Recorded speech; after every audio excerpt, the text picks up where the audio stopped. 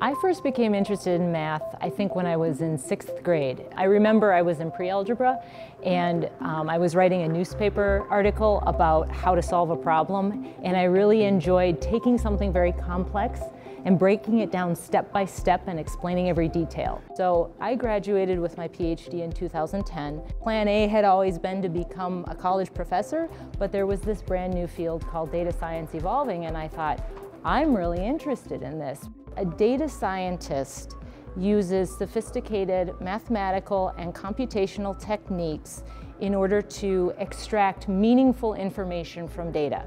So companies have all this data, they want to understand it better, and that's the power of math, is that you can use this math to extract information. But then once you've done that, you have to take that information and translate it into a way that your business leaders can understand it so they can make decisions or have actionable insights. And corporations are primarily using it to improve the bottom line. You either want to make more money or you want to save money. And there's a bunch of different ways you can do that. In my roles, I've seen it used uh, to improve efficiency of operations. In 3M, in the finance division, they want to do improved forecasting and understand the uncertainty in their forecast. So uh, think of like a confidence interval or a credibility interval in Bayesian theory. It's an exciting field. It's uh, very fast-paced. The field is constantly changing, and so there are not only new mathematical techniques that you need to keep aware of,